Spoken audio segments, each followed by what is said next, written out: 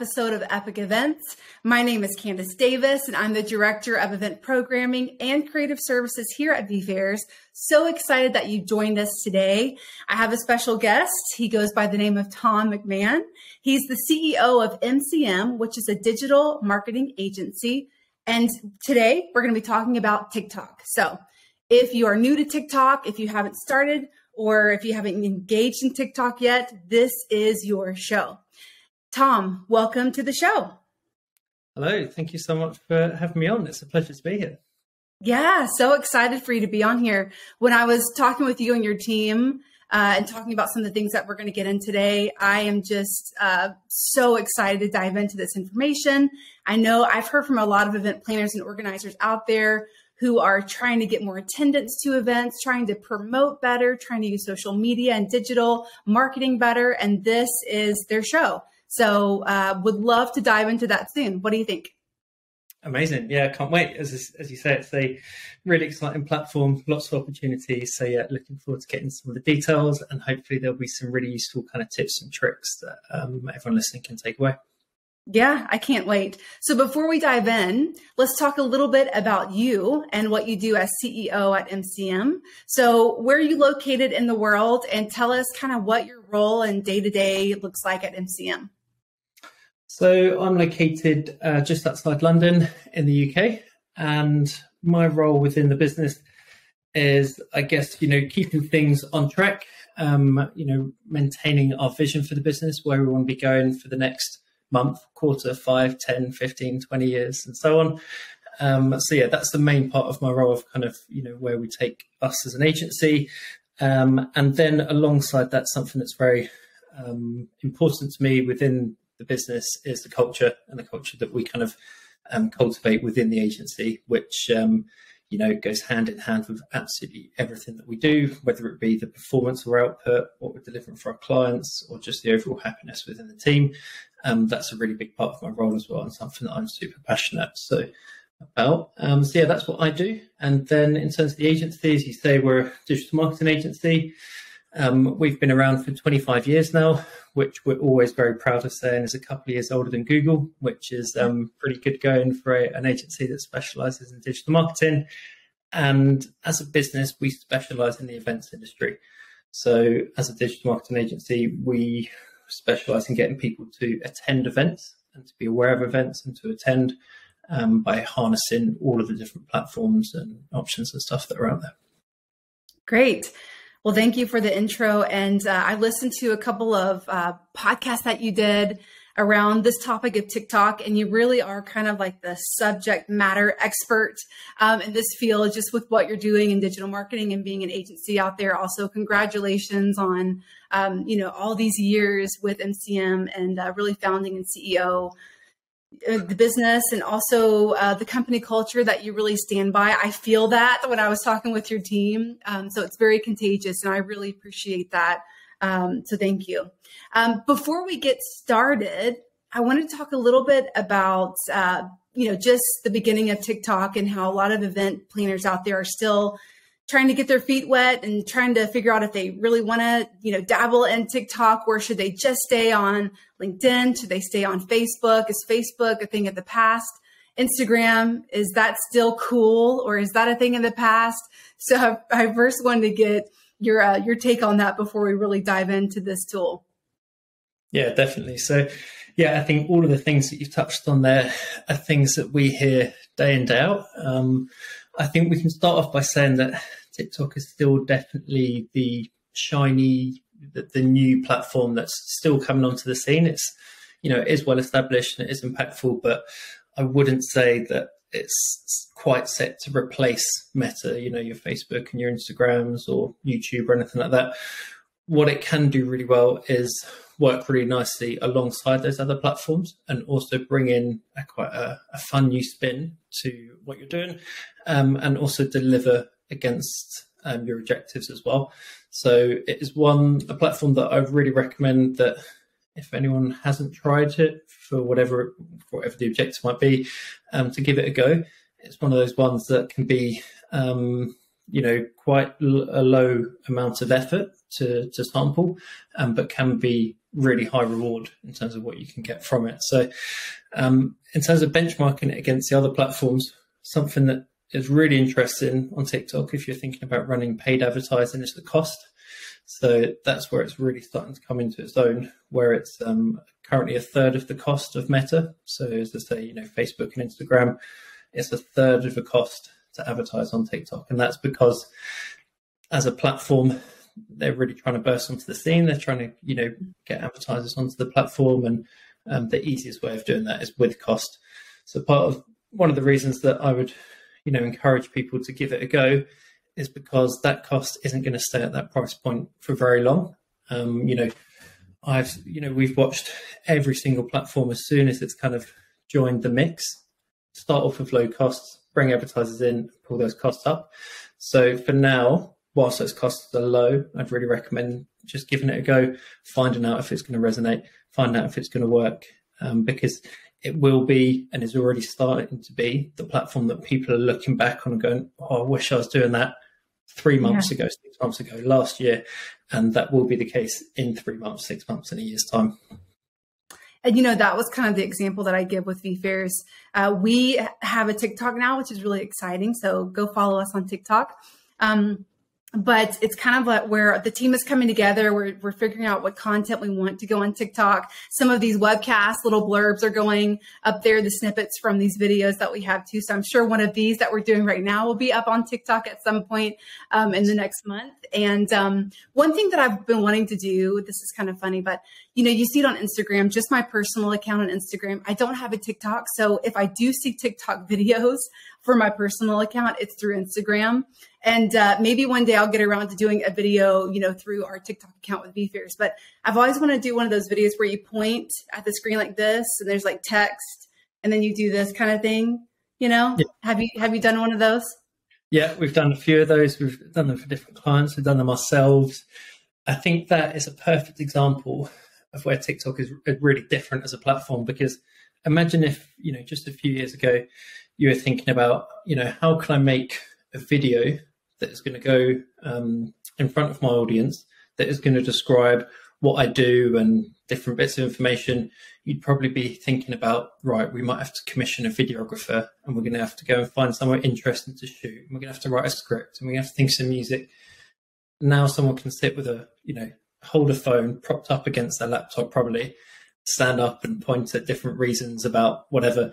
And that takes 20 seconds, post it, and that could be millions and millions of views instantly. And I think that's what's really exciting about the platform. It isn't high production.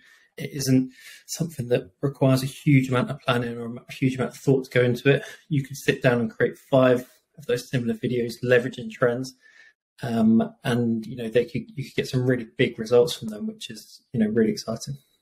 Yeah, and for event organizers out there who want to start with TikTok, um, let's say they have an account, they really don't know what to do next.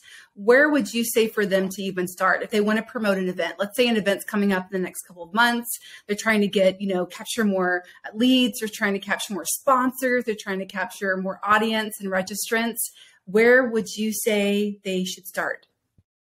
A great question. I think for us, it always comes back to um, audience first. So get a really clear idea of who your target audience are and what do their feeds look like. That's that's the absolute key. So get a really good understanding of what your target audience are currently seeing on their feed. What are they interacting with? What are they commenting on? You know, go down to the event, and you know the first thing that we do at any event we work on is we'll attend as much of the different bits as possible, and we'll speak to people on the floor at the event and really get a good idea of who are they following, what they're interested in, what gets them excited. And then you start to paint a really nice picture of what is filling their feed. And then that's where you can create your content. So all of the content needs to be curated for your target audience. As I say, there's no better way of understanding what your target audience want to see than, you know, going and speaking to them. Um, you know, we've had some really interesting examples of that where, you know, there's um, a big event we're working on in the world of accountancy, right? And it's all of the leading accountancy firms and accountants that are attending this event. And there was one idea around what type of content these people wanted to see. And that was slightly disconnected from what type of content those people were actually consuming. And it was understanding what they're actually consuming and how can we make content around that? And that is from getting the insight. And then once you've got an idea of what's filling their feeds, creating your own content around that that's really compelling, really engaging, um, and really delivers against some of the objectives and the messages that you're kind of uh, trying to portray. Wow. Okay. Well, you know, start there, know your audience and, you know, see what they're following and kind of what they're interested in so they can focus on the content that you have and hopefully watching it and sharing it, things like that. But um, that's great. Thank you so much, Tom.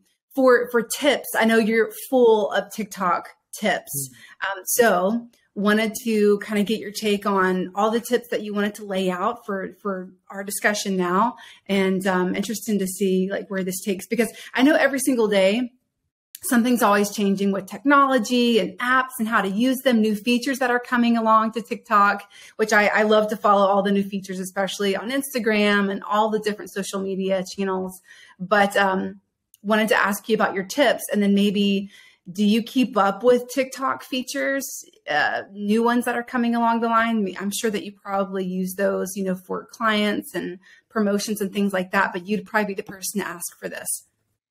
Yeah, exactly. So I guess, yeah, there's probably um, four um, pieces of advice I would give. I think the first one going to your point around trends. Um, me personally, I spend way too much time on the platform, and I think a lot of the team would agree. But it's kind of essential to stay um, up to speed with all of the trends that are going on. There's a new trend every hour, every day, and it's those ones that if you can latch onto as they're kind of you know increasing in popularity, it could be really really impactful. So um, that probably the first tip is to keep an eye on trends and have a think around um, how they can be useful for what it is that you're trying to say. So, um, you know, Candace, you mentioned that you don't have a account yourself. I'd probably recommend don't don't get one because otherwise it's going to suck up a huge amount of your time, right? It is one of those ones that the feed will instantly curate all of this content that is tailored for you. Um, and it's very, you know, lots of interesting stuff on there. So from a business point of view, great. From a personal point of view, you're probably sacrificing a good chunk of your relaxing time. Um, but yeah, I think identifying those trends and working out how to leverage those is really, really useful. Um, and then going to a little bit more of the technical details of how to actually create that content. Um, it doesn't always have to be super short. There's no kind of um, fixed duration of um, you know what's going to be the best. What I would do is you know trial with different durations, but the key to keep consistently throughout is um, having a hook up front.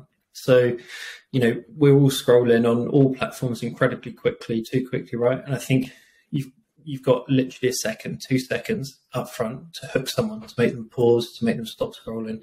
So it's finding out what you're going to do in that initial few seconds to grab someone's interest and get them to stay in there. So, um, yeah, that's a, another interesting tip. And I guess within that as well, within that initial getting something up front, creating content on the platform doesn't need to be, or it shouldn't be the same as on any other platform. It shouldn't be the same as if you're creating a TV ad or a YouTube ad or anything like this, where it might be a little bit more creative and focused. Um, the advice from TikTok themselves is to create TikToks, not ads. So mm-hmm. it is literally around making content like um, a user. So, you know, focused on user generated style content that feels quite native and natural for the platform. So, yeah, that would be another one getting the hook up front and making TikToks, not ads that would probably be um, the second one that I would recommend.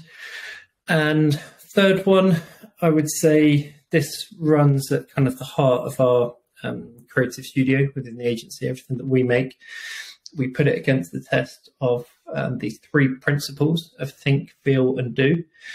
So everything that we're making, how is that going to make you think when you've seen it? How's it going to make you feel? And how, what's it going to make you do? and that needs to be applied to everything. And that I wouldn't say it's specific for TikTok, but it is really important because it's a platform, as I've mentioned, around creating the quite fun content where people can get carried away and you see a piece of content and you think, well, okay, that was great, but why am I going to now attend this event? Or as an exhibitor, why am I going to inquire? Or why am I going to, you know, book as a registration, etc. So that think, feel, and do is really important. So how's it going to make your target audience think, feel, and do? um, that should run throughout. And once you can answer all of those questions, or even an even better test, put your piece of content in front of someone, you know, ideally, you know, wh- whoever, someone that hasn't seen it before, and ask them how it's made them think, feel, and what they would do afterwards. If they can, you know, tick off some fairly similar answers to what you'd expected um, and what you're looking for it to achieve, then that's going to be a success and something that you can then look to post on the platform. And then a final one, and a little bit of a controversial one, and this is the only platform that it would work on, but you know, you often hear, especially when creating content, that less is more, and it's, mm-hmm. it's more important. Unfortunately, on TikTok at the moment, it's the opposite. More is more. Right. You know, right. focus on getting the best production or anything polished or spot on, or focus on getting as much content out there um, and working out which of those is effective.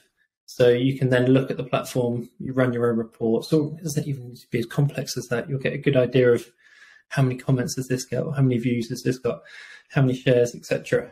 Um, and then you can start to refine and go, okay, well, those ones where we use this trending sound worked really well, or those ones where we actually involve some of the team just speaking about oh, this could be anything silly like I don't know whatever it might be that that's worked really well because people like the human connection and then you can start to refine and okay we're going to make more of that content. But um, with it still being quite a youthful platform in the grand scheme of things um, isn't yet completely saturated with content. There is room for trial and error. So um, yeah that's the kind of the last tip i would say is to um, put as much stuff out there as many different routes as possible and then flip through and find out what's worked well and then uh, create more of that. That's great. I love your principles of think, feel, and do. And uh, and then more is more. You, you like you, you like you don't really hear that a whole lot, right? Even an event that's like, yeah, let, let's come down on decorations for the conference room and food and beverage and all these sorts sorts of things. Um, but yeah, TikTok, I mean, go all out, right? Do something crazy, uh, like confetti cannons. I think that's what I'm, I might do for one of our vFairs TikTok videos. You have inspired me, Tom. Um, but are there any uh, things that really stick out to you with TikTok videos that you've seen around promoting events that really helps to boost attendance? Like something crazy that's happened in the TikTok video or something very simple and straightforward that kind of gets, gets, you know, viewers and, and, and eyes on? Yeah, it's a real mix. I think we find so we focus, as I said, we'll go and create huge amounts of content um, at an event and then post it and see how it works. Sometimes the things that we think are going to work work. So, like we were at an event recently, and there was this really cool um, display with bubbles where people getting caught in bubbles, and there was a guy doing magic tricks with these bubbles popping off, and we made some content around that, and that performed incredibly well. Um, often if there's like you know a really interesting stand or something really interesting like you mentioned around the confetti cannon things like that you know will often do really well. But um, two other things that we found working really well at the moment with um, events content and tiktok and things that anyone can do with a phone and just walking around. The first one is a time lapse of literally hitting record on your phone and doing a lap of the event. And then you can put like um, some commentary on it around, you know, um, attend the X event with me in 30 seconds and a bit of narration around, okay, here's this section and here's that and here's this. We're seeing this really, really perform. And it's because it's quite simple, right? That someone can look at that and get a really good idea of what's going on, everything that's in the event in 30 seconds. Um, and it's quite a lazy way to find out everything that's going on. And when you go back to the think, feel, and do, so you're thinking, oh, actually, there's more at that event than I thought. You're probably feeling like maybe I'm missing out on, you know, not being there and there's all this cool stuff. And then you're doing, going and signing up to the event. So that's something that I'd recommend anyone just give a try. You know, simple um, time lapse around the event that you can just do on your phone. Um, and then the other one is doing short and quite fun and light interviews with people at the event. So people like people and people like seeing who's there and who's doing what and what do they feel about being there. And you know just grab an iphone head down chat some people chat to some um, people that are visiting chat some people that are exhibiting. You know what's the most interesting thing that they've had a discussion around today? Or what was their favorite thing about the event, or you know, some really you get some really interesting sound bites around. Um, have you been? One of our favorite questions is, um, have you attended this event before? And often you find someone like, yeah, this is the twelfth time I've been, and it's straight away it's okay. Why do you keep coming back?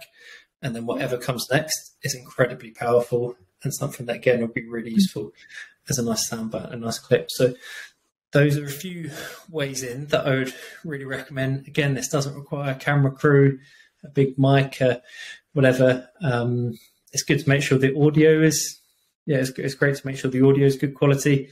Um, I guess a simple uh, recommendation I would say if you're at an event that was really, really busy, I'd recommend getting some, get these mini like um, lapel mics, Bluetooth ones. You can buy them online for not too expensive at all. Everywhere I think that just clip onto the collar and you can just guarantee that um, the audio will be good quality. Again, that's a bit of a technicality. You don't always need to do that, but that's probably the extent of um, investment in like big production that I'd recommend for these types of things. Um, it's more about what the content is rather than yeah, being, being big produced or um, polished. So low investment big ROI if you do it right. But yeah. these are really simple and straightforward tips. Love the time lapse video because I think sometimes post event, because I assume a lot of this content is going out live or it's going out post event. Um, and you're creating that FOMO. And we talk about that a lot on this podcast is creating FOMO, creating that, you know, scarcity, creating that, hey, if you don't join, you're going to miss out on this because it really is true, you know, and people want to see before they actually do. And that's a big thing that we, you know, talk about and back a lot here. So that is really great. Love, love, love those tips. Um, I want to ask you now, those are things to do before we end the show. Let's talk about things to actually avoid when using TikTok because we probably could go on all day. You could probably give me all kinds of tips of not what to do um, and then the tips of what to do. But I want to talk about uh, what have you seen to avoid? things to avoid. It's a it's a tricky one. I think it's so. It's, I'd say the platform's so nuanced that um, there wouldn't be like one thing that isn't going to work for everyone. I think some probably be getting disheartened if the content doesn't work. That's probably the. I know that's like you know a bit of a, a cheap answer, right? But um, I would say that you know if you post 10, 10 posts, twenty posts, and they haven't worked, don't get disheartened. There is still going to be opportunity in there. It could be that 21st one that you're going to post 22nd that could blow up and really do well. Um, again, not investing too much in, in one piece of content. Um, yeah, can't stress enough that it's really about frequency and is getting a, much of a kind of variety in there and doing lots of yeah, lots of different bits. That's yeah, really going to help. But in terms of other things, I'm trying to think of um, things not to do. I guess that kind of runs at the heart of the platform is that there isn't really much to like not to do. It is really about experimenting, trying different things. Um, as long as you've got that good understanding of your target audience, then chances are the the content is really going to be able to resonate. Um, I guess what not to do is imagine and, and, second guess what kind of content your target audience wants to see, and instead speak to them and and test it out and find out exactly what kind of bits they are resonating with. And um, yeah, and really want to find out more on um, a final one just to touch on actually just on that in terms of what not to do. Again, not to second guess the demographic that are on the platform. So something that we hear time and time again is, you know, this is a platform for teenagers or people in their early 20s. It's not going to be relevant for my audience. Is something we hear over and over. Um, but the, that is changing rapidly, like seriously, seriously quick. So um, the demographic, you know, there is still about 25% of, of people that are aged, you know, below um, 25, and then another similar split just above that. But there is a really quickly that demographic is um, moving into the 30s to 40s, 40s to 50s, and 50s plus. Um, and we shouldn't be surprised at that because we've seen that happen on Facebook and then we saw it happen on Instagram, and then we saw it happen on Twitter and YouTube. Like that's always going to be the case. You're going to have the early adopters as the younger generation, and then that demographic is going to shift. So for that reason, I would say don't don't count out the platform as not being relevant. um, instead test it out and determine, okay, that's definitely not right. We're still yet to see an industry um, that there isn't some way in, you know, on on the platform, you know, with some type of content. So yeah, I'd say don't discredit it, give it a go and find out, um, because it, it really will be the one, if not, you know, fully explored that people look back on and think, oh, I wish I'd have just, you know, tested that out or, um, yeah, yeah, explored. Good, good, good. You talked about frequency. That's a great question that I wanted to throw at you. Um, so, event planners may say, well, how often do I need to do this? Is this going to be pretty cumbersome throughout the week? Can, can I do one a week? Can I do a couple of months? What would be your take? I mean, you you are the subject matter expert around you know digital you know uh, promotion and then for tiktok too. So what's your advice on this? That's a really interesting question because you see a huge amount of answers on this online. Like you know even last night i was watching various different bits of content and you have a lot of creators that are saying quite aggressively right you need to be posting 10 times a day. And if you're not posting 10 times a day and yes that's all well and good if I don't know you're 18 and you're a student and that's all you're doing, sure.